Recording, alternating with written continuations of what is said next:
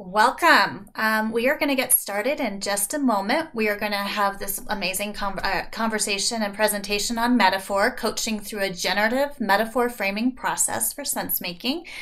So, if you are here for another webinar, you might want to double check your schedule. But if you're here to learn about metaphor, you're in the right spot. Um, we're going to give it another minute or two. And if you are here and would like to turn your camera on, we'd love to see you, but you don't have to. I know for some this might be lunch hour, so feel free to keep it off. Um, we've also noticed that Zoom decided that it would like to include closed captions in this particular session, and we're not sure about why it's doing that. So if you see words on the bottom of the screen, Zoom has just decided to turn that on, um, and hopefully that won't be a distraction. Um, and again, I want to welcome you. I see some familiar faces. We've been in seminars um, the last couple days. Glad to see some of those uh, return folks. All right, I think we're going to go ahead and get started. Um, Richard, why don't you mind? Um, why don't you stop your screen share just for a moment, just so sure. I can see everybody while I do the intro, and then I can have you come back on. Um, you know, this is a session that is eligible for ICF CEUs. Um, it's 1.5, and this is in core competency. We will be tracking attendance at the beginning and the end, and live attendance is required to receive your CEU. Those will be issued to the Fielding um, Registrar's Office, and you'll want to give it at least three to five weeks to receive that via email. And let me introduce myself, and then I'm going to introduce the speaker. I'm Dr. Carrie Arnold. I'm the Program Director for Evidence Based Coaching here at Fielding Graduate University. I'm delighted to host a series of seminars this week um, in our first Alumni Week that's been able to attract audience from all over the world since we're doing this virtually. I wish we could be in person, but I'm delighted that you guys are joining and calling in. So let me um, introduce you now to our speaker. Jim and I, are not Jim, um, Richard and I have been talking off and on about him presenting. And as a coach, I love using metaphor, and I think it's a powerful awareness tool, a powerful sense making tool. And so I'm really excited to listen to your conversation and your presentation, Richard. Um, a little bit about Richard. He is a Fielding graduate. He got his PhD at Fielding, and he is also a graduate of the Evidence Based Coaching Program. And he's an adjunct professor at Valley College. He teaches business, leadership, and change management courses and he's currently designing a metaphor, a coaching, uh, a metaphor coaching model. And so I think we're going to be exposed to some, you know, maybe some original thought here. He also holds a professional certified coach with the International Coach Federation. And I'm excited to turn the um, microphone over to you. Thank you. I appreciate the uh, opportunity to share. So I guess the process of this conversation is to really introduce the background of my PhD study and how I kind of combine two different theories. Uh, one is by uh, Schoen, which is uh, generative metaphor theory, and then Bateson's work on framing theory, and how I was able to bring those two different uh, theories together through the lens of metaphors and out of that came a coaching process that has some unexpected findings, but also shows how metaphor is used by coaches, but how bringing those two different theories can really create change within a client. Uh, not just change, but really the sense making change. So that's kind of a high level. Then we'll have opportunity for questions. And in this slide deck, I don't have the research or as far as the literature review, I have a separate PDF that has all of the theory and research that brings that together. And you can basically, you know, ask for that and I'll email that to you at the end or outside of the uh, session.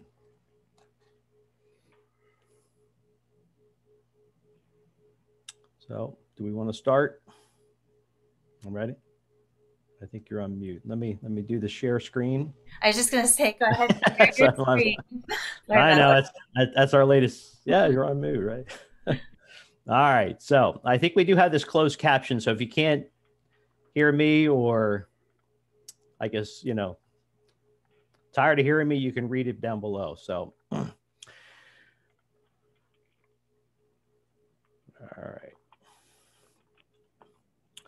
So, as the topic is metaphor coaching through a generative metaphor framing process for sense making.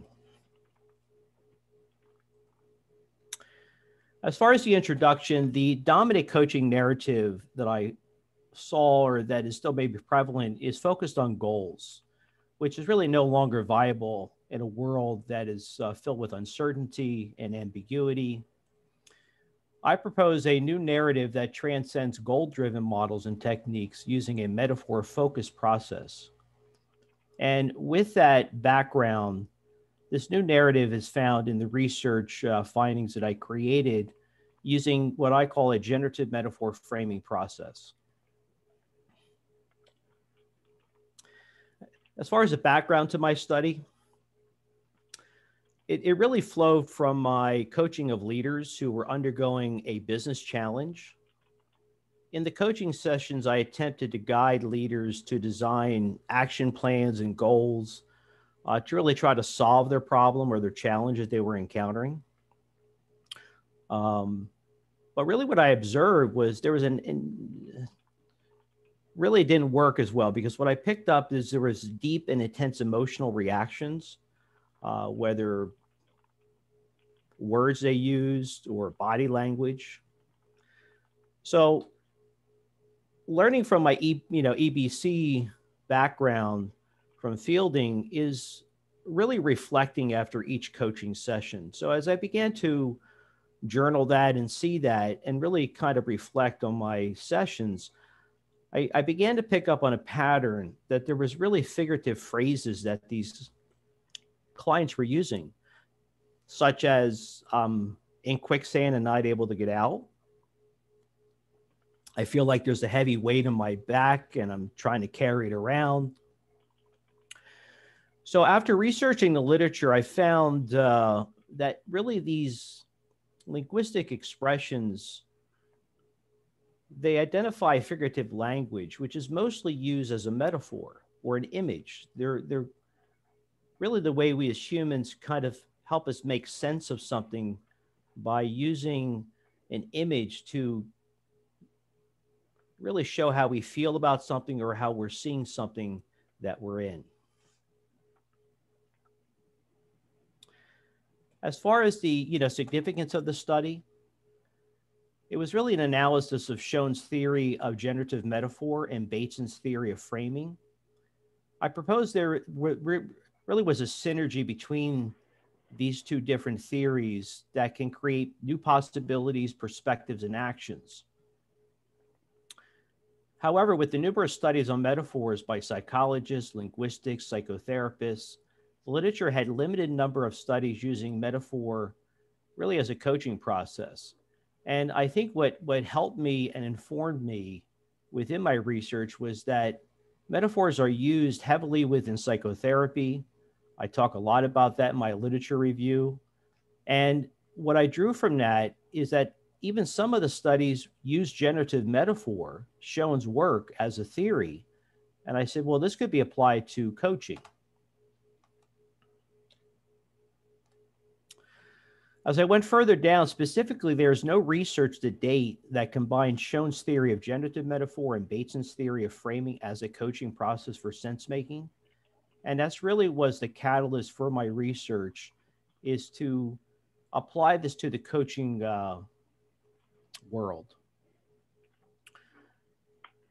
The essence of the study sought to determine how the synergy between generative metaphor and framing could be used as a coaching process to really facilitate a new reality. And you'll hear that a lot within my research.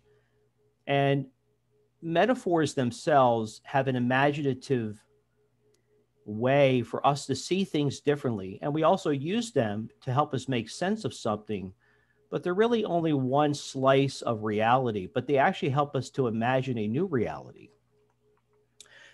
And by drawing upon metaphors, we use metaphors to help us try to make sense of what is going on when we're confronted with a challenge or an opportunity, because that particular challenge or opportunity brings about ambiguity, uncertainty, and it sort of helps us kind of look at it differently through a different lens. As far as for the research, the theoretical framework of the study, it drew from Schoen's theory of generative metaphor, Bateson's theory of framing, and also the essence of coaching is really based on social construct theory. And I'll go about that a little further down. But let's take a look at Schoen's metaphor theory and why this is different than coaches say, I use metaphors. This is a very specific type of metaphor and how Schoen looked at metaphors uh, from his perspective and how I took that theory. And that was the essence or really the grounding of not just using metaphors like something else or uh, just focusing on metaphors, but really the images that metaphors create. So, really, Schoen's theory contends the interpretation and understanding of experience, our lived experiences that we encounter, are a hermeneutical problem whereby generative metaphor is a heuristic tool of analysis. Schoen called this process metaphoricizing, the facilitation of a known image into a new unknown image. The example that Schoen used to start his uh, process of generative metaphor he was working in an organizational process of engineers who were trying to create a particular product as far as painting. They were trying to paint uh, cars, I believe it was. And they were struggling because the paint would come out in little blobs and it wasn't adhering. And somebody said, Well, this is like a paintbrush and just that new image allowed them to create a particular process, a device that would really use the paint in a, in a way like a paintbrush does, but it wasn't. But that image really allowed them to look at their situation, their challenge differently, and to imagine new possibilities, new perspectives that they had not seen before. So the essence of my process takes a known image, and we'll talk about it later what that means, into an unknown image that has not been seen before. As we look at Bateson's theory of framing, Bateson can really consider frames as structures that include or exclude and evaluate messages contained in the frame. Bateson called this abduction. As an activity, it seeks to recognize the patterns between different things. Bateson shows how metaphors are critical to the unity ecology of a mind, which can evoke reality for sense making. So, framing and reframing is used heavily in coaching. I've used it prior to using metaphors, but metaphors themselves are a frame. So, there's a synergy between Bateson's work and Schoen's work is that a metaphor is a frame and frame is also a metaphor. So that's where the synergy, that's where the intersection comes is by using metaphors, they become a frame within themselves. As we look at social construction theory, I, I basically came up with this idea of this co-creative dialogue. There, there's really a dialogue within coaching. It's dialectic in the sense that clients and coaches open and have that open dialogue and it was important to my study because really the underlying concept within my process is that metaphors can be both identified if the client offers a metaphor, but they also can be developed in the coaching relationship. And I'll talk about later as far as two different sides of that coin is that there are either client generated only metaphors that a coach would use or there are metaphors offered by the coach only. And I said there's probably a middle way, and that middle way is really through that co creative dialogue. Social construction theory also underscores how, uh, how co creative dialogue plays a role in the intersubjective sense making between the coach and client for interpreting experiences. What I mean by this is that on one level, the coach is also making sense or what the client is trying to make sense of their sense making. So there's this inner subjective, each within that social construct, that dialogue, both parties are creating sense making.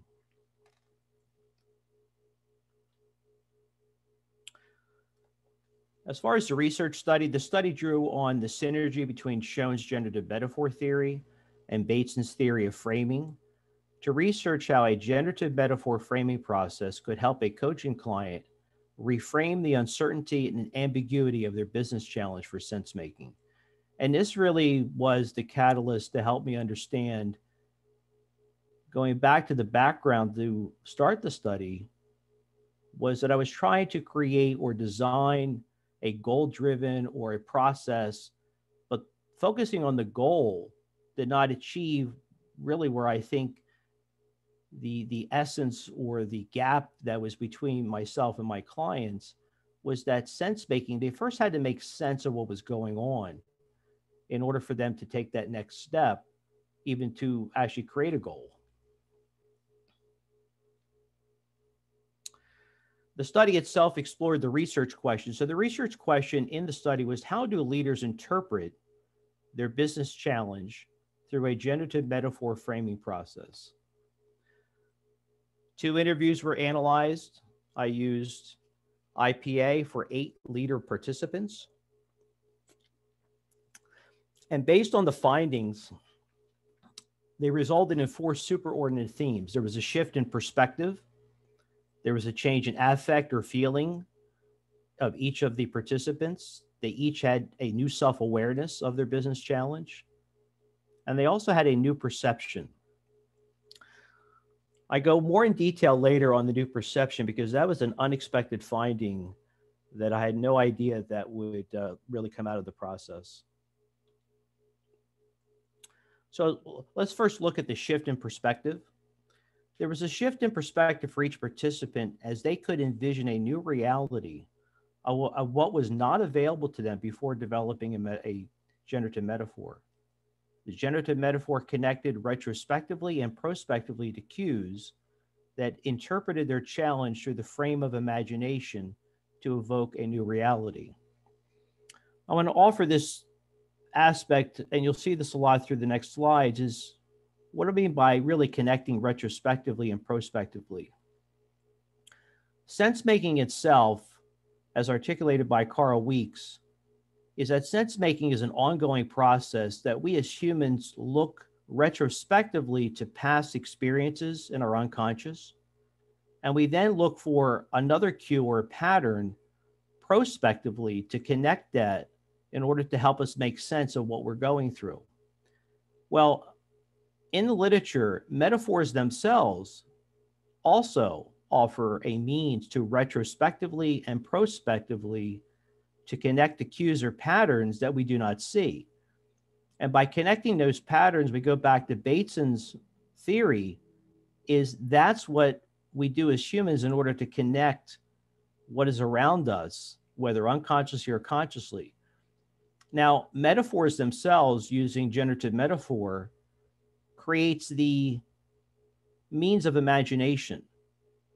And so a metaphor itself can be, at one sense, retrospective, but also prospective because imagination is a prospective frame that we look through.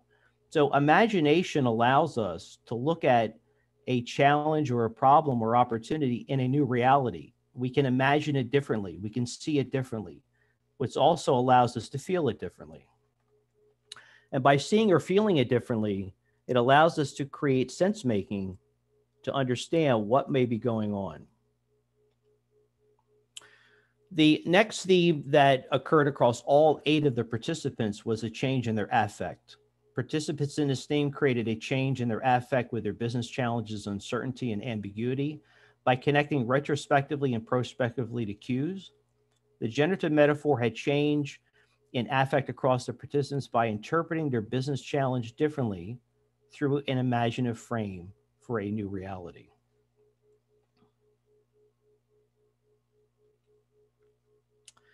The third theme was a new self awareness. All participants created a new self awareness regarding their business challenges, uncertainty, and ambiguity upon being invited into a generative metaphor framing process. The process created choice and change for a new reality by connecting to cues prospectively and retrospectively through an imaginative frame of reality for sense making.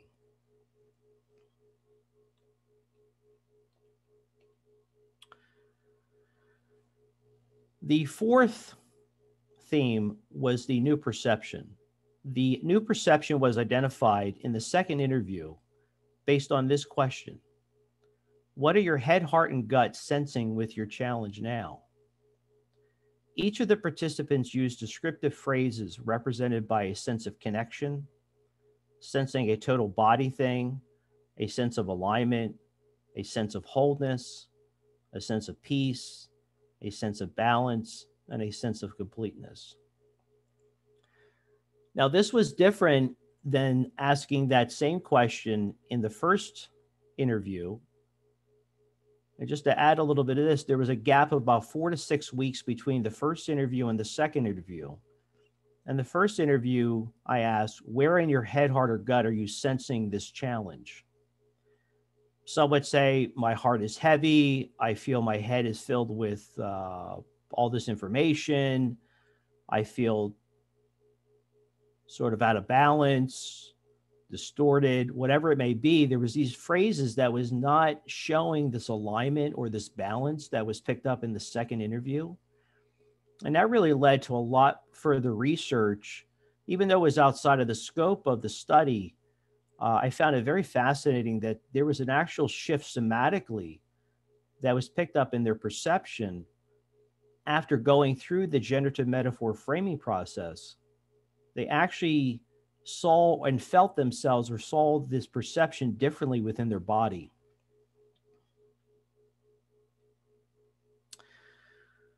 These uh, descriptive phrases imply an internal sense of disconnection before using the generative metaphor meaning there was a misalignment between their head, heart, and gut, leading to a distortion of their perception. The head, heart, and gut questions appear to signal each participant was seeking a new state of alignment between their head, heart, and gut for sense making. So, when, when really confronted by a challenge, I propose, and what this finding suggests, is that there is a misalignment that we know something is not right and we tend to look for cues, whether retrospectively from our past experience, our lived experiences, or we seek retrospect, I mean, prospective cues in order to help us make sense. And so this shows that the body, there's, there's sort of this misalignment between the head, heart, and gut. The uh, new perception in this unexpected finding implies by connecting to cues both prospectively and retrospectively for sense making, which is observed within the head, heart, and gut. A more in depth analysis of the head, heart, and gut, even though it was outside of the study scope, literature points to the head, heart, and gut functioning as three independent brains. And this is where neuroscience comes in. And I'm going to go into it next. So we basically possess three brains scientifically. Even though we have one brain within our head, these are defined as the cephalic brain, which is our head, the cardiac brain, which is the heart, and the enteric brain, which is our gut, which with each having complex neural networks capable of storing and processing information.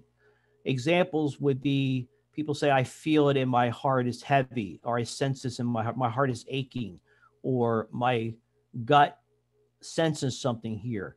That's where the brain from our head brain is connected. And this is where this whole integrative uh, coaching or integrative connection between the head, heart, and gut is our body and head are connected. And that's really what informed me was really something unique within this study. So this finding implies that the head, heart, and gut brains can shift the inner sense of disharmony with a generative metaphor by reharmonizing perception for sense making.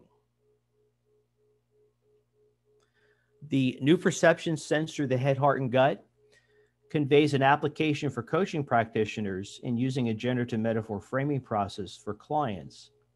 The head, heart, and gut use that as, as an integrative model by the coach can help a coach and client reframe a challenge, creating an alignment of new perception for sense making.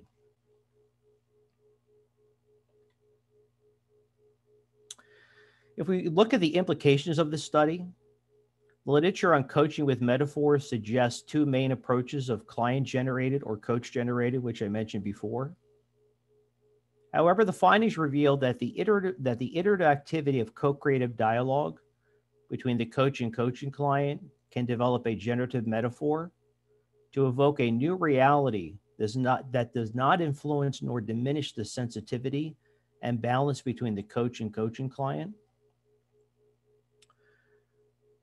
Just to kind of add more detail to this, within a client generated, there, there are models out there that only says that you could pick up and use what the client is offering as a metaphor. And there's research around that there's also ones that show the, the uh, coach generated where the coach only offers the metaphor. And to me, this sort of limits the ability for sense making to really manifest itself because within the coaching process that I created, me as the coach can offer just suggesting being curious using an ICF approach by just offering a metaphor. It may work, it may not work. But if it picks up with the client, that's the beginning stage of the process of first identifying back to Schoen's work is what's that first known image? What's the initial image that somebody uses? Then by using the generative metaphor process, you change that and offer, and then you co-create a new metaphor. Sometimes they actually create a new metaphor, or you work with the client in order to create a new image. And it's that second image is what shifted and created the four themes within this uh, research that identified where the client was, how they solved their particular challenge through one particular image. And by changing the image to a new image, which is generative within itself, it was able to frame that challenge through an imaginative lens and a really, really an alternative lens that they had not seen before.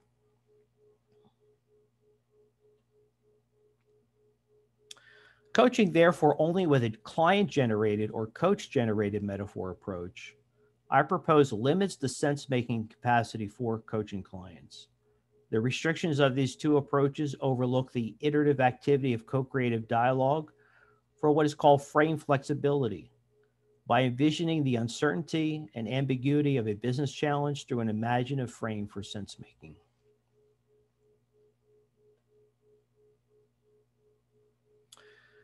As far as a contribution to the literature, the findings show how a generative metaphor framing process provides the coaching client with the frame flexibility to restructure their challenges, uncertainty, and ambiguity through an alternative frame of imagination to evoke a new reality for sense making.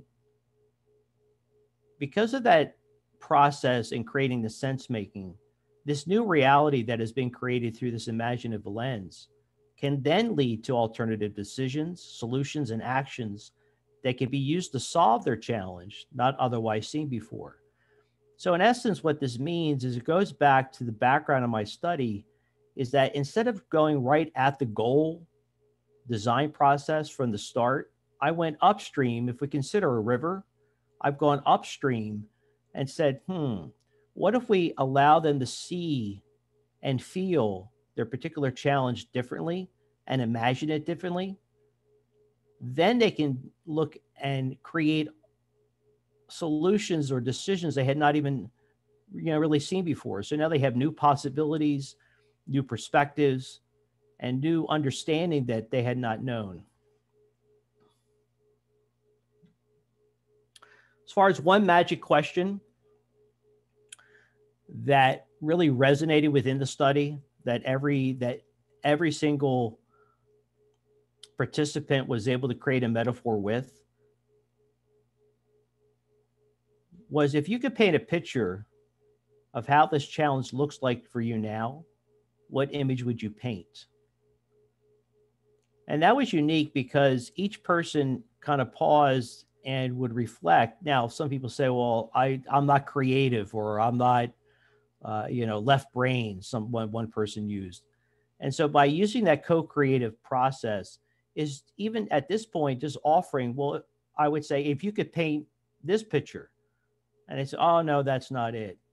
That happened about three out of the eight participants. that was the catalyst. So this is where that co-creative process as a coach, just by suggesting instead of just going with what the client says, because there are some individuals who may not be able to tap into that creative process to create an image. But by offering that or as a catalyst, it doesn't mean you stay with that particular image, but that was a catalyst to open up that dialogue and they were able to create a image initially which then led to the second image that we co-created together as far as the coaching process itself it in really in essence instead of just using framing as a technique the generative metaphor framing process changes both the frame and the picture inside of a challenge to help a client evoke a new reality for sense making. So in essence, what I've done here is this, this research shows that the frame itself changes and the picture inside the frame changes.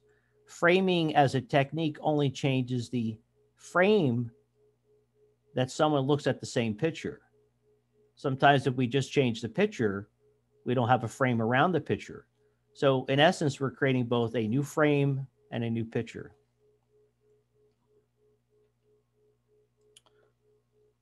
I think that's it. Wow, that went faster than I thought.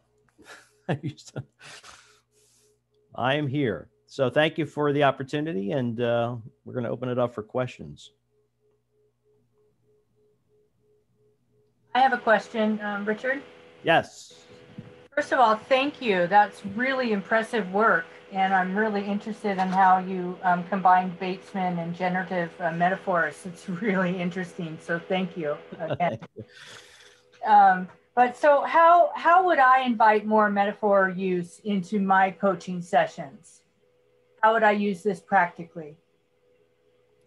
Yeah, that's a great question. So ba- based on this particular introduction, I have a whole process of questions that I'm developing and have developed. But let's let's just take an example.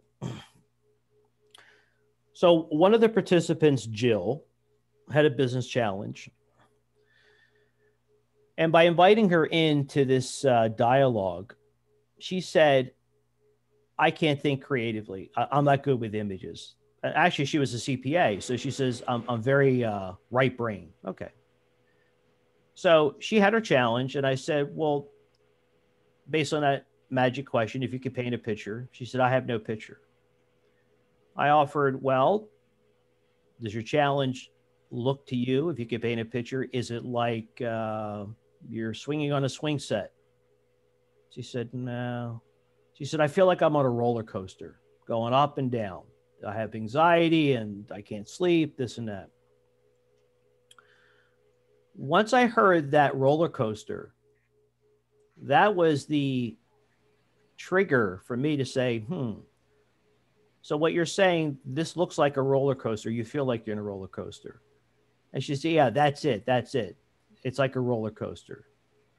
That was the beginning stage that that identified based on Schoen's work that that, that was the image that was resonating for her to make sense of her particular challenge.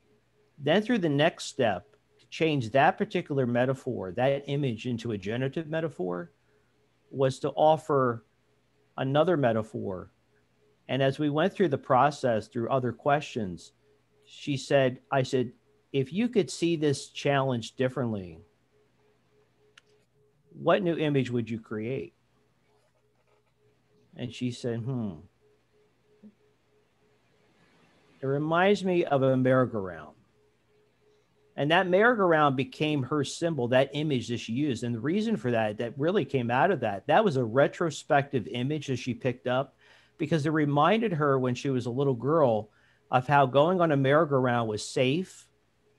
It went in one direction. She could get on the merry-go-round and get off the merry-go-round.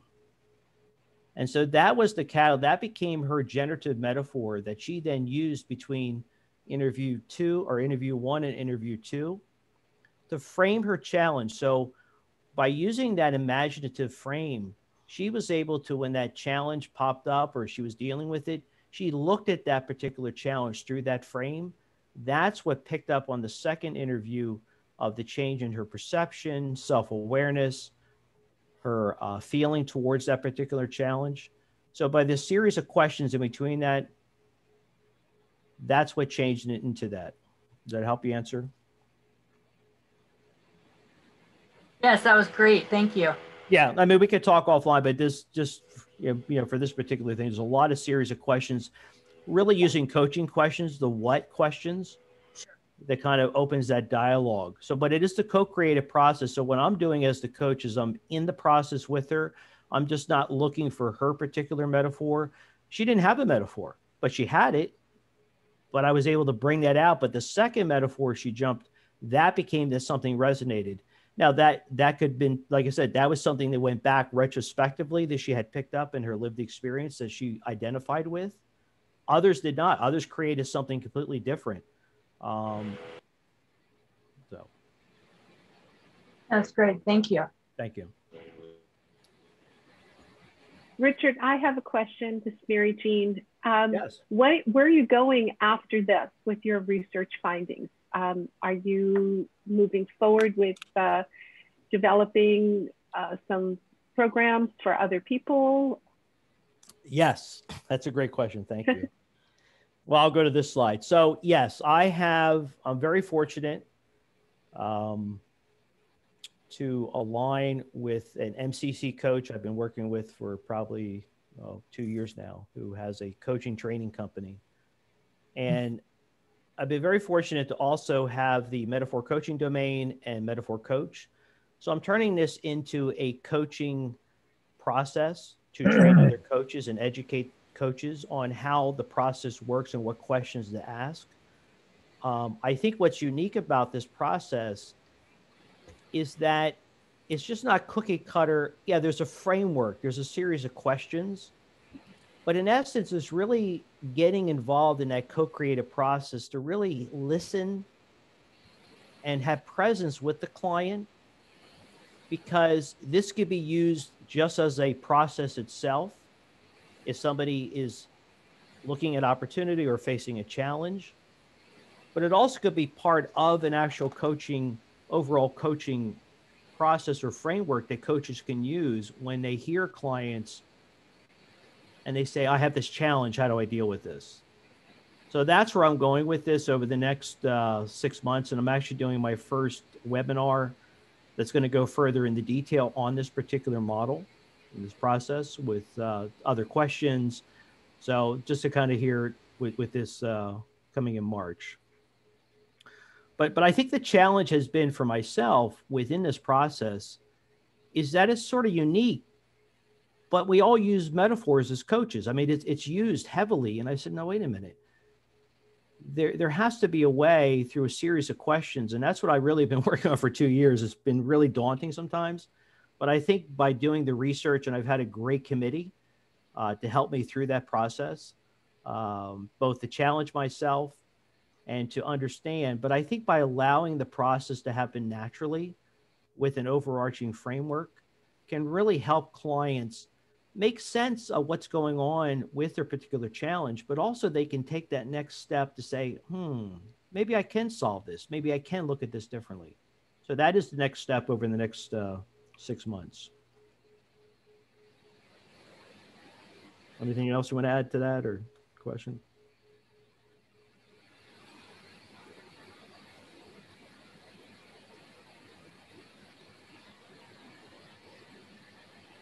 Oh, thanks, Jean. That was a great question. Um, are there other questions from the group? Um, I have one, Richard. Um, metaphors are great. So let me ask you about when you're dealing um, with culture, somebody that comes from another country has looked at things in a different way because of the cultural and their diversities that they have. With metaphors,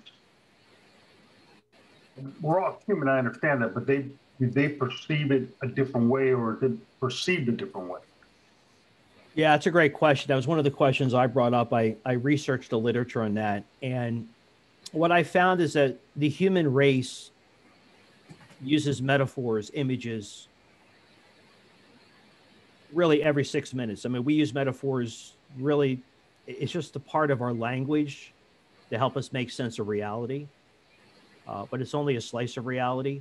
So, cultural wise, there was nobody in this particular research, and I have uh, probably down the, the road as, as a separate research uh, project is fine. Is there a cultural difference? What I found through the literature, there really is not in a way that, yes, they may interpret it differently, but images that we all create is what we use in order to help us make sense of the situation we're in.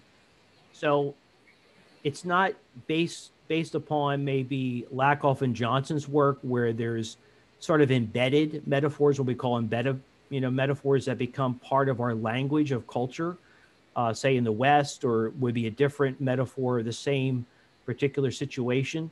What Schoen does is Schoen takes it and says, okay, I'm not just looking at metaphors, I'm taking metaphors through the lens of a known image and changing it to an unknown image that had not been seen before or known before.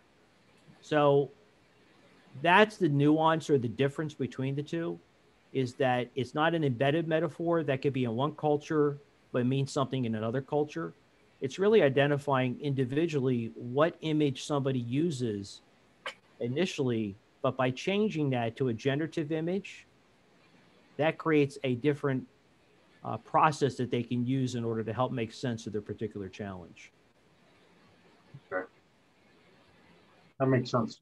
Yeah, it, and that was a great question because I had that same question for myself. Is that if it's done here, but it's really and and there's even uh, literature they talk about dead metaphors, metaphors that might have been interpreted a certain way at one time in history, are now interpreted completely different.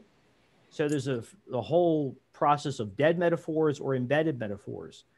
And but but the biggest thing with embedded metaphors is that we use certain metaphors in our cultures, uh, such as time is money, uh, mm-hmm. is one.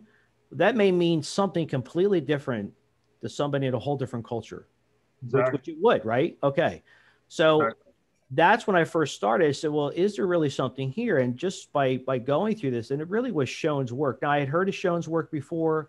I've heard of generative metaphor, but when I joined in a in really a coaching process and just saw that there was this iterative process. So if you look at at Schoen's work, that that that that process he uses himself is iterative. It's starting with one image, but changing it to a different image so, and metaphors themselves are images, even though it's like we sometimes use it's like this, or I feel like, or it looks like. By changing it to an unknown image, it's really a, you know, some way to kind of give us a slice of reality, but it's not reality. So let me just back up to that. And all of these participants, their challenge had not changed within that four to six week process, or but I think it was eight weeks total between the first interview and the second interview. Their business challenge had not changed at all, but they saw it differently because they imagined it differently. And by imagining it differently, their neuroscience, the brain doesn't know reality from not reality. The brain, oh, so by looking at that challenge through that new generative metaphor, they were able to look and feel differently and perceive it differently, that they can now take action uh, with that. But I think the most exciting part was the really the head, heart, and gut. I think back one of the previous questions. What am I going to do? I I don't know. I was challenged on that by my committee that that itself may be the really the framework here. That there's something going on within really the head, heart, and gut. Yeah. That has not been seen before. I, I haven't found any literature that that's fascinating. Uh, just really that that to me is just really an untapped area. Richard, I see Kristen hand up. Kristen, um, go ahead and take yourself off mute and you can ask your question. Great, thank you. Um, so I wanted to go back to the example you gave. I think the client name was Jill. Yes, Jill. With the um, the merry-go-round and the roller coaster. Mm-hmm. So I was mm-hmm. really struck by what you described as how the frame and the picture change. You can have a change in frame, but you're still working with the same picture. And in this process, both of those change. And so, what I was wondering was if you could unpack that example a little bit more with those two metaphors to understand in that instance what what is the frame? What's the picture? And is the generative metaphor, which I understand to be the merry-go-round, was that the frame? Was it the picture? How, how do those pieces all fit together in that example? Yeah, that's a great question. So if we look at it from the first uh, image was the roller coaster, that became the frame and the picture that she identified Jill, the participant, as trying to make sense of her particular challenge that she was encountering. By then using the iterative process of co creative dialogue and creating the generative metaphor, the generative metaphor became the new frame and the new picture. So, what we see there is we see a shift from the frame and picture she was using initially. And by changing that through the process, she now created a new frame and a new picture. The new frame and the new picture, by being invited into the generative metaphor framing process, that allowed her to have that shift in feeling, perception, awareness, and perspective. So, what I picked up on that, I said, hmm, if I could take a step back and look at really all this research and the findings, is this process actually creates a new frame and a new picture. And so we now have shifted something unique where we're not just holding on to one frame with the same picture and trying to work that and say, well, okay, if we can make change because we could change the frame. And, and really, when we're, you know, as far as changing the frame, we can either expand the frame of that same picture of the roller coaster. I could talk about the roller coaster. How do you feel in a roller coaster? What what what image is a roller? I mean, that that's a whole coaching process there. But by staying there, it doesn't shift the frame and the picture. And by working with the new picture and the new frame, that merry-go-round helped her make sense in a new reality. That new reality opened up something that she had not seen before, felt before. So that's kind of where the differentiation becomes. Now, I didn't pick up any of the of the literature of really even Schoen's work. If that picked up, I picked up that Schoen said that this would create a new perspective or new possibilities uh, for a situation or a challenge, and also new solutions. So there's sort of this kind of process there. What I saw is something where it even created a new perception. Does that help kind of clarify or I guess what, what other questions you have with that? Yes, that was perfect. Thank you. You're welcome. Thank you.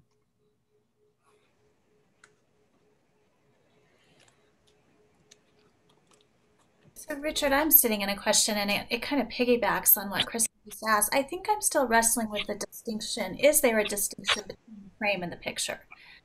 or are the is the frame around the picture just part of that picture um, and i can you help me understand that a little bit more yeah sure if we go back to the uh, jill i, I guess uh, example so the roller coaster is the image that she initially started with metaphor image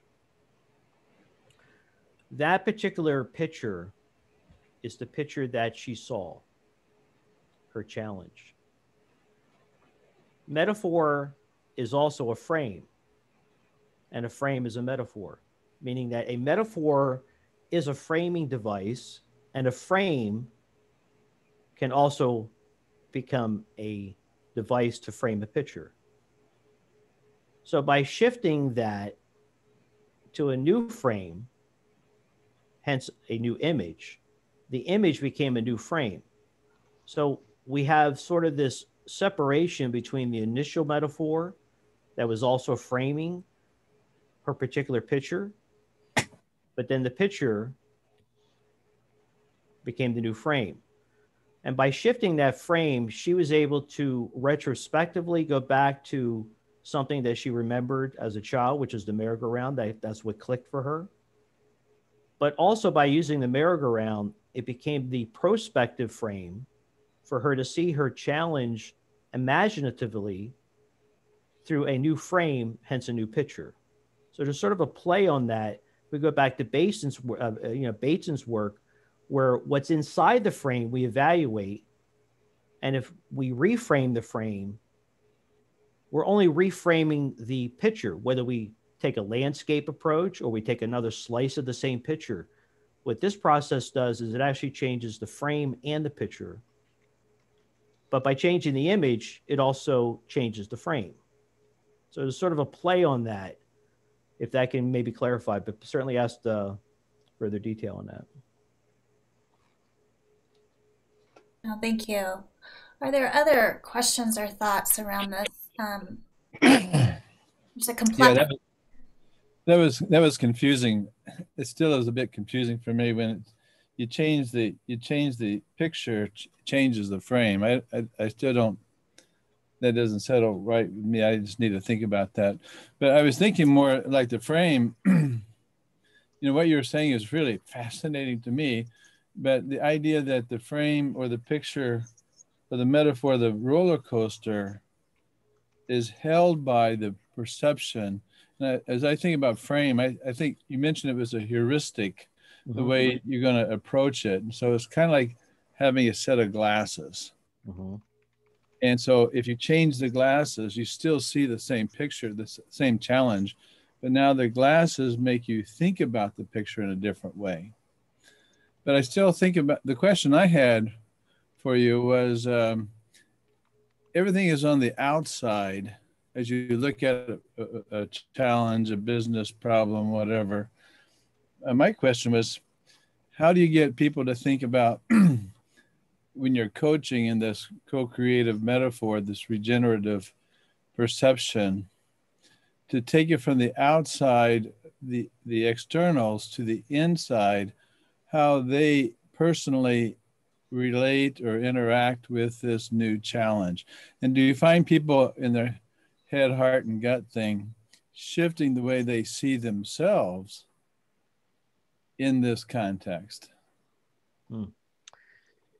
Yeah, let me kind of unpack. Um, there's, there's a lot there. I mean, you. No, it's okay. No, let me just. No, it's great. That's why we're. That's why. Well, we're co-creating here, right? We're we're talking right. out loud. So I, am open to absolutely. I think it's fascinating. As I, I mean, went through this, go ahead. Um, so let me go back to the to the frame. So in essence, the challenge itself is the challenge. That that's a particular frame, right? So that's a frame. What what I'm not doing is trying to focus on the challenge. That is more of a traditional or goal focus. Okay, so we got this challenge. I did it. Okay, how can we solve it? What what ways can we look at it differently? Or you know, what actions can we create for you to solve this problem? Mm-hmm. What the essence of Bateson's and Schoen's work is that I took the image, the first metaphor, that's the frame. That becomes the frame, not the challenge is the frame. I'm saying that the frame that the image that was created, the initials back to Jill, the roller coaster, that framed a picture of a roller coaster that she was using to help her make sense of her challenge. The generative metaphor framing process takes that initial picture that is framing that challenge and creates a new image, which is a new frame because it's a new picture with a new frame. So it leaves behind the roller coaster and brings that person to shift and look at their challenge through through this particular frame of the merry-go-round, which then internally, if we see the findings, it helped create that shift in their perspective internally however they did it, whether they look back retrospectively or prospectively, they're using that nuance. And that's a whole nother study is that, but it is changing something internally because there was a change in the feeling they had towards their particular challenge, but also the perception of the head, heart, and gut. Prior to that, and I have certainly we can go offline and, and send you the details. You could see all the question, all, all the outs, all, all, the information that came out of that was Jill said, um, I feel like, you know, my heart's over to the side and my head is just out there. There was a misalignment. But by changing that initial metaphor and framing it through the merry-go-round, she was able to have that shift in perception and have alignment within Who her says? head and her gut. Hello. So I'm well. I'm well. Thank you for asking. Yes, I'm here. I'm here too. Hello. Um, Hello, so Chris. as so as far as with changing the frame, so I'm not saying we're going to. Everybody there? Yeah, go ahead, Richard. I think okay. I was able to mute that person. Sorry about that. That's okay. That's I thought it was I thought it was talking to me at first. Um, so it's not reframing the challenge, and and maybe this is the nuance here or the difference is that it's not saying okay, let's, but it is reframing the challenge, but it's reframing that metaphor, the initial metaphor, and so the metaphor that was initially created of the roller coaster, that is what is reframed, and that's where the new frame with a new picture creates the findings in this research. So there's there's multiple layers here. I think is what uh, you know is interesting. Does that kind of open up a little bit more for you to think about? It's helping me think. It, it shifts it back to me as I'm thinking about coaching, um, thinking about how you help people uh, perceive themselves as in their perception of their challenge. And so what you what you've done is you've helped me understand uh, there's a shift in perception, mm-hmm. but it's not just the perception I'm, about the challenge. It's, it's like Jill may be afraid mm-hmm. of going on that roller coaster, and the challenge may be overwhelming that she feels inadequate or secure. I just can't do it. That that fear shifts when she says, "Now I can do this merry-go-round," mm-hmm. and so as I can, if I can create a, a way of thinking about this challenge in a way that I can manage and move into it to address it, something inside of her shifts from fear to saying, "Okay, I'm willing to I'm willing to go in," and and that is it's the internal shift that interests me. And there's your your your heart your head and your gut um, has to do with your feelings and your thinking your head and your and your image of how you see yourself. Uh, that for the coaching part that's what's interesting. How do you take someone who's afraid or overwhelmed or when you have insurmountable challenges shift that belief that she he or she can go into this. And so it's a it's that co-creating that the co-creator herself is being developed uh, growing. No i think you hit no this is exactly where i i, I think exactly correct is that okay let me add to that back up to something. Instead of what what traditionally i would do was say especially in coaching, there's a whole school of thought on this. And this comes out of uh, David Grove's work on asking clients how they feel about a situation or, you know, how, you know, how do you feel? Uh, that's, just, I mean, it's a loaded question, right?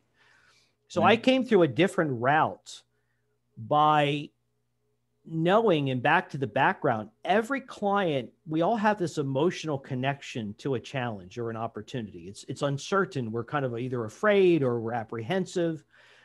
And so what by by using the generative metaphor framing process, it changes the emotional connection yeah to a particular challenge. And and here's where I wish I would have put it up, but just to kind of give you what came out of that, finding in the second interview each of these individuals, these are the actual quotes that they use a sense of connection that they didn't have before, a sense of a total, a, a total body thing, a, a sense of alignment, a sense of wholeness. So something shifted internally. Internally. That they, even though their challenge had not changed, I, right. And, right, we didn't frame the challenge differently. Say, well, you know, look at your, we framed the picture that they initially saw, which was, say, with Jill, was the roller coaster, that was set aside, and she was able to replace that through an imaginative frame that created a new reality that she had not known before and felt before, but now she could actually see the challenge through this merry-go-round, which shifted something internally. And I think you're right, is that there was a shift in her fear. I think she said on the one after where she said, Well, you know, after I, I wasn't up all night thinking about this. Well, that shows some sort of emotional connection. She had a shift. And I think hers was, she had a sense of completeness, if I remember just looking at it. So she had a shift where she felt complete. She, she felt something shift inside her that she had not had before. Now, if I would have stayed with the roller coaster metaphor, that image, how had she been able to shift? And that's where Schoen's work comes in by changing the known image that she first created into a new, a new unknown image that was able to reframe through a new lens of what her initial feeling was with the roller coaster image with her challenge and and that's that's a whole nother research i think as i go forward to kind of see that is there is a shift that's happening through this process. But if we only stay with one metaphor, the initial metaphor, how does it change anything? To me, it's like, okay, how do we, and, and this goes back to the two different schools of thought. Do you only use what the client metaphor? Let, let's say that she gave me that metaphor and we stay with that. How would that have shifted in a certain way based on this research? Or if I was to coach and say, well, I'm going to say, I think you're dealing with this metaphor and this is the one you're going to deal with. Well, how did that solve it? Right. But that co creative process brought out, a, and there was actually one particular um, participant. We started with three different images until, and I went back and just that iterative process until he came up with one. Uh, just an example. I, I actually live outside of Philadelphia, and there's a place called Rittenhouse Square, and if anybody knows about it. Um, which is a it, it's a park that has several different entrances that you can go in and out. And he just blurted out, "It feels like uh, Central uh, this this place in Philadelphia, um, you know, the the park." And that hope that opened up a whole series of unpacking that information where he said, I can go in and out of either entrance, uh, not feel stuck, that was his that became and that's what he used. It to frame his challenge he created that picture. But if we would have stayed with his first initial metaphor or image that he created or if i only threw out a particular image how would he have made that shift? And that's that's really what this shows is that somehow a shift was made that he had not had before. But just saying okay well i use metaphors in coaching. Okay we all do. But how do we take the metaphor and how do we change the metaphor? And that's where Schoen's work comes in and Bateson's work by framing that particular new image. We can now look inside that particular frame and evaluate that frame to see if that frame can help in any way. And that's what we see here. Yeah, I, I, I get that. I, I, I, I think about several people. I've, I've been able, didn't realize that was happening, but that's that's exactly what was happening. Um, I was working with a Japanese student whose father said, "You will study computer science," and that was the only avenue open to her. Mm-hmm. and when she came to talk to me about, uh, she she didn't want to be a computer scientist. Her image of herself was, "I don't like this at all," and, she, and then, uh, but she had no other choice in that in her family. Mm-hmm and then as I was listening to her and I was poking around and trying to listen to options that what her other interests were, and we were using the Myers Briggs type indicator, I, I happened to look at uh, a list of jobs and I was asking about um, her interest. And then I, I looked down at one, I said, no, this sounds strange. Um, talking about various other occupations besides computer scientists. I said, have you ever thought about using your computer science? I, I said, have you ever thought about working in the um, as a police? And she she threw herself back in the chair and she says, I've always wanted to be in, uh, working with the police, but my father said, no, you've got to be a computer scientist. I said, well, have you ever thought about using computer science, uh, working in computer science in the police force? Mm-hmm. And combining those images opened up a whole new frame for her to see her education and solve the issue with her father and to move on to a career path in which she did. She actually went into the police work, but she was stuck in one one lane mm-hmm. until it was that image was opened up and broadened. That that's what I think the co-creative thing that she she she said, yeah, that I could do that. I mean, she owned it. When she owned it, there was there was the shift, there was the emotions, then then there was motivation for the computer science, and then there was motivation to make a contribution in in a and and develop a career. Absolutely, yeah, so, yeah. So you helped her reframe. So images, as as I said, we speak in images constantly, or we see life as images. I mean, these are so she saw herself one way because that's the way she was framed to look at reality that way and you helped her consider other options. So I think this technique, I mean, as a whole, as coaching is about this process. I've I've specifically pinpointed using metaphor as an actual device in order to take a challenge but working with the metaphor and working with metaphors to create a new metaphor and then we so that helps us make sense. It kind of says, okay, because we, we ask ourselves, what's going on here? We have all this information, and we tend to, through Karl Weick's work within sense making as an ongoing process, we retrospectively we go into our unconscious of past lived experience and say, okay, is anything in my past like this? And even Carl Weeks talks about metaphors are a way that we use. We use metaphors to try to help us make sense or images, right? In order right. to do that. And we also then retrospectively will use another image or a metaphor to try to make sense or bring it together to say, oh, no, it's like this. So that's when we use a, uh, I feel like this. When the person would say, I feel like I'm in quicksand. Well, that that's the metaphor we're trying to help us make sense of it. But what I'm saying within my research, if we stay stuck in that image, we're stuck.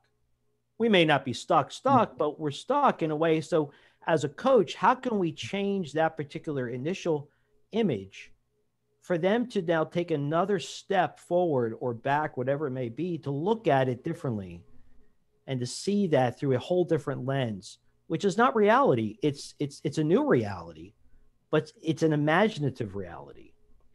It's an alternative reality. But we do that constantly through our through our lives every day to try to make sense of reality. Right. Right. Wonderful. Thank you. And Richard, some you know something that's coming up for me, and, and this is something I do in my practice is you know when a client throws out a metaphor, and, and we'll go back to the roller coaster. You know, roller coasters and, and merry-go-rounds, you know, as a coach, I might add, you know, they're they're still circular. They're still coming right back to the place they started. Yes. The other thing I notice as a coach, or as your coach, I might say, and here's the other thing I've noticed about this metaphor or that metaphor, and I think when we offer up our assessments of the metaphor, that we are creating a generative process without asking them to create a new metaphor. And so I think there's some lovely ways that we can just even react you know, when they say quicksand, I'm like, well, how, you know, I know we're not trying to stay with the original metaphor, but our reaction to the original metaphor um, and how that serves the client or doesn't serve the client or it, how it serves the situation or doesn't serve the situation is something I think that can be really valuable. Um, and I am noticing um, just by the way, Richard, you have no pictures in your presentation. And since you're doing metaphor, I think you should have some visuals, especially the merry-go-round and the roller coaster, because that could be a really lovely way of trying to really help create clarity around. Um, there's some challenges here, I think, in, in teasing out some of these nuances. But one of the questions I wanted to ask was Do you ever, with your clients, use images, which I think are different than metaphors, to help generate the metaphor. So, like pieces of you cards or visuals from Center of Creative Leadership. I'm curious if you've used that those types of tools in your practice. Uh, no, I talk about that in my uh, actual dissertation. There is a study that uses cards uh, with that, and I think when I found with that is they create a particular uh, it sort of closes it off. Yes, it could be a catalyst, right, as an image. But if we go back to Schoen, what, what we're using is Schoen's particular theory is that a metaphor is an image. And so, to me, based upon what I interpreted within that study, uh, I forget the study offhand, is that it sort of limits, just like only using a client generated metaphor or a coach generated metaphor it sort of closes off that yeah. um, process uh, to allow that co-creative process uh, to work. Uh, but no, I've not worked with it, but I know people who do, and I have it in my dissertation that I bring that up, and where that differentiation comes uh, comes in.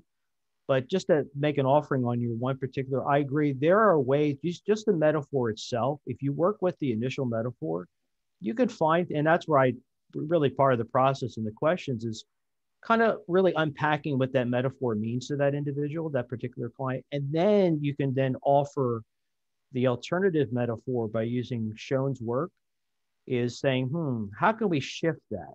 Because it's just being curious if if we're assuming and not assuming, but saying, hmm, because if they're only resonating with that current metaphor, but I agree with you, unpacking that, that is part of the process kind of identifying what does it mean to them, what does it look like, sense like.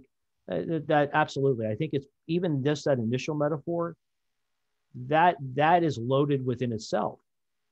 I think back to the one gentleman asked it, back to Jill, there was fear, anxiety she had.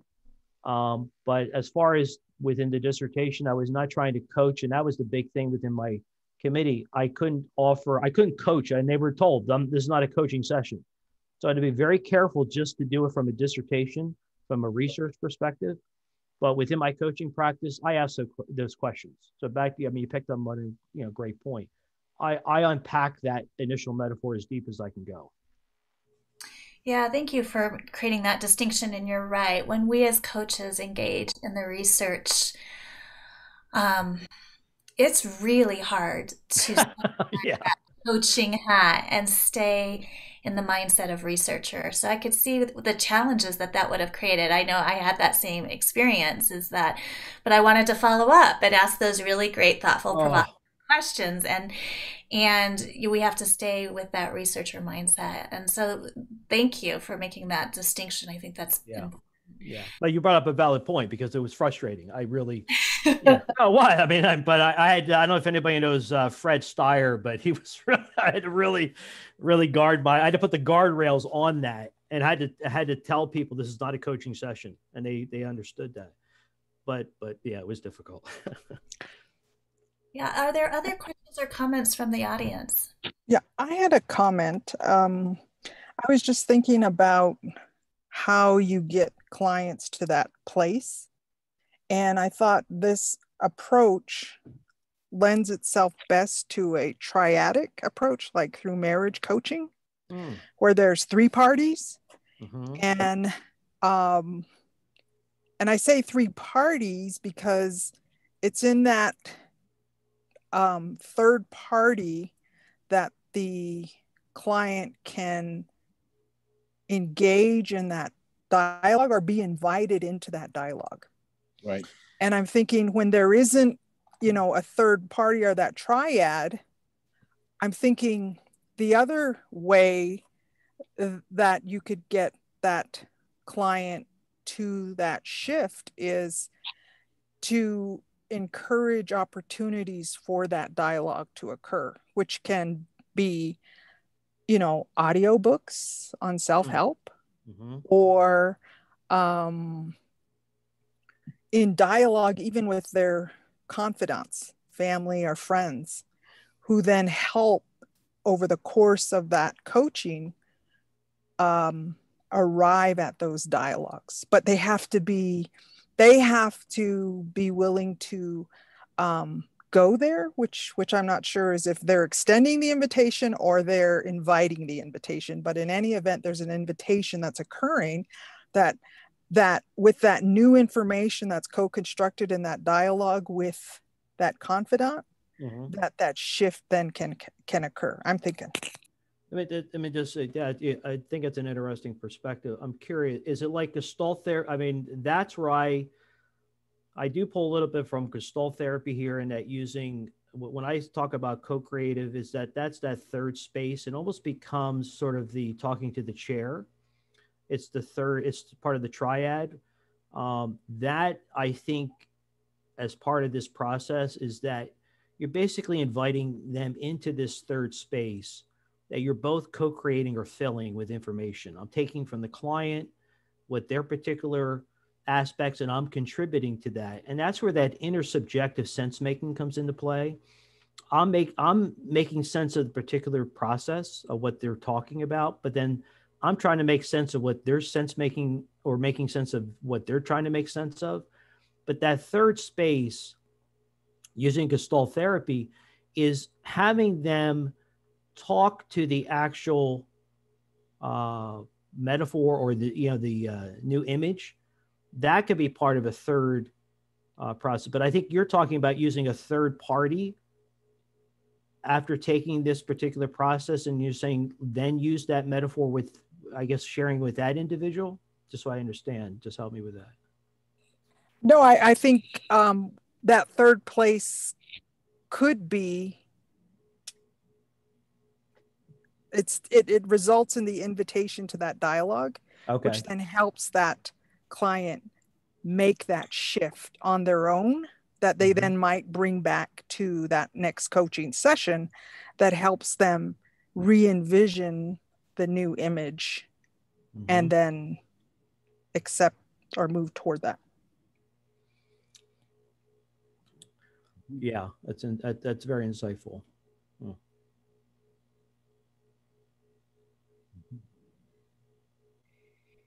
Yeah, and I'm wondering too, Richard, when you were doing your research, you know, I love what you said earlier. Like we use a metaphor every six minutes, I think you said, or we're, we're using yeah.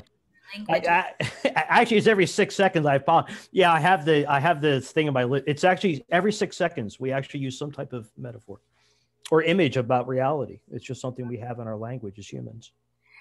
And so I think as coaches, really listening with that distinction in mind. Because I, I imagine in myself even you know being in a coaching session our language is dripping with it. And are we mm-hmm. listening for those drips? And are we able to bring mm-hmm. attention to those different metaphors in a way that serves the client? Because our language is just so laden with it that we might miss some really important metaphors that the client themselves are missing. And when we draw attention to it we're creating alignment and awareness um, this isn't necessarily what you did in your research, but it's calling back into practice and how we um, don't just listen for the issue or the situation, yeah. but what is the metaphor that would suggest the mindset of how they're being? If I could just uh, make an offering with that, that's after coming through this process. I know it's with the ICF, we listen. I listen with such intense, not you know, over but just listening because it can come in any coaching conversation. This is this is a particular process that is used as either as a one-off or as part of a coaching relationship. And part of my dissertation is that I did this during COVID. I, I did this during the heat of COVID, is that once the generative metaphor was created, I asked in the second interview, I didn't include in here, but I can send it separately, is that I said, using this new generative metaphor, such as Jill with the merry-go-round, how do you perceive or what what percent I forget the exact perception of how COVID is impact and that was able to show that a generative metaphor that was created in a in the first interview could be used in other particular challenges. So the generative metaphor became generative itself meaning that it helped her see her see COVID in a whole different frame. So that's that's a whole nother part of the research that was unique in itself. So it's I think it becomes where this image sort of almost became embedded that she had begun to use or could use in other particular challenges. And I think that's where using this particular process, you don't have to create a new image every time, is you could work with the image that they currently have. But if you sense the client is stuck with that metaphor or they're just not moving from that, there's still a lot of emotion. And you ask that question, what is your head, heart, and gut sensing with this? And if you still pick up, uh, I feel disharmony or there's not alignment or I feel heavy in my heart, you know that you need to introduce a new metaphor through inviting them into this generative metaphor framing process because you know there's misalignment. Yeah. And so that current metaphor they're using to help make sense is not working. And that's what this does is it's not just okay, here's a cookie cutter framework that's that's that co-creative dialogue knowing when to offer that you as a coach sitting in the middle and you're not just saying well i only have to use the client you know the client's metaphor but also as a coach i'm just saying well i think this is the metaphor you should use it is that understanding and that perception and being present and listening to what your client needs when they need it mm-hmm. Yeah, so Richard you just put um, a question in the chat. Um, she's curious about exploring generative semantics within generative metaphors and coaching, and how have you seen that blend work? Yeah, that's something I'm uh, I've been looking at because that's a whole nother. I tell you, within within organizational development, which was my degree, was uh, you have a kind of method being used called generative imagery where um, that can also change the organization and how they see itself and how they can change that and create meaning or actually meaning making. The generative semantics is really, I think, where the head, heart, and gut is where I'm going with that because that shows something is happening physically with that individual to perceive the world around them differently. And by doing that, there's an incomplete different person, not, I mean, different person, but they're sensing reality differently than they had before. And that really, to me, is a modality unto itself that, that really has tweaked my interest. And that's why I even brought it up that I think there's something integrative there. Uh, but that is a part of what I'm looking at. And whoever that asked that question would love to talk offline of what they know. We can explore a little further together what what their perspective is on that. Yeah, excellent. We probably have time for maybe one more question if anyone um, is sitting in one.